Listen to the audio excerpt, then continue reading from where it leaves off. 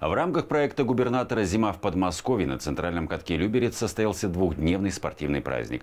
Футбольная школа «Спартак» и Федерация самбо городского округа пригласили всех желающих на бесплатное катание на льду, мастер-классы от фигуристов и участие в конкурсах. Наши съемочные группы работали на празднике.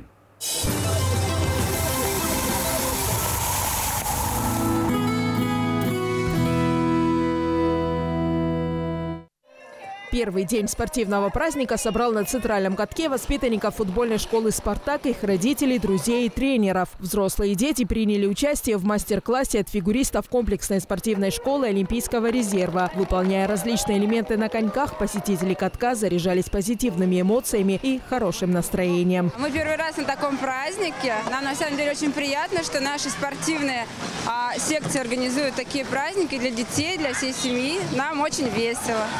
Я приехала со своей семьей. У меня тут просто брат учится, футболист.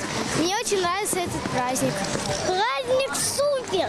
Я еще хочу таких праздников. Праздник на льду организован, чтобы объединить в дружный коллектив не только юных футболистов, но и их семьи. Помимо показательного выступления, для спортсменов подготовили конкурсы и тематические призы. Эта здоровая атмосфера позволяет популяризировать не только футбол, но и популяризировать спорт в целом. Сегодня у нас тематический приз – это лучший дресс-код сегодняшнего мероприятия. Кто по итогам голосования займет первое место, тот и получит уникальный э, спортивный футбольный мяч э, брендбуки «Зима в Подмосковье». Праздник для своих воспитанников устроили представители Федерации самбо городского округа Люберцы. Такие встречи за рамками борцовского ковра еще больше сплачивают коллектив. А тренировка на льду вполне может пригодиться и в самбо. Я считаю, что это э, тоже развитие координации, это большой плюс. Помимо этого, общение с детьми в неформальной обстановке. Для нас это важно. Э, хочется, чтобы дети активно, во-первых, проводили э, свои выходные. Коммуникация была и с родителями, и с детьми вне тренировочного процесса.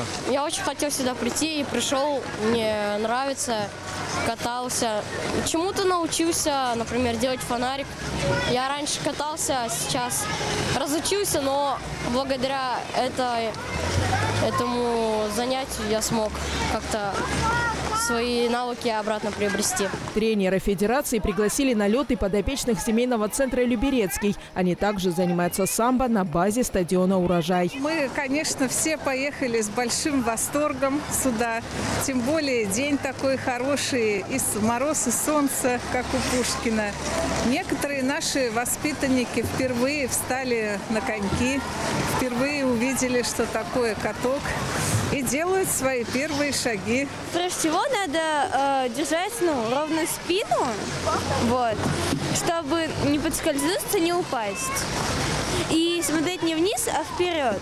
И ноги влево-вправо. Всего в двухдневном спортивном празднике на льду приняли участие более 400 детей и взрослых. Подобные встречи проходят в Люберцах каждый год. Луиза Игиазарян, Анастасия Кладинова, Петр Пономаренко, телеканал ЛРТ.